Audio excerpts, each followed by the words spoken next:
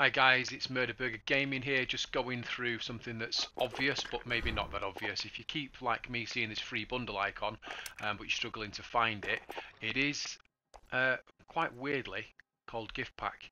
Um, it's not that obvious because all these have these weird names. Um, and yeah, if you go to Gift Pack, um, it is actually a free bundle, so you can just claim it.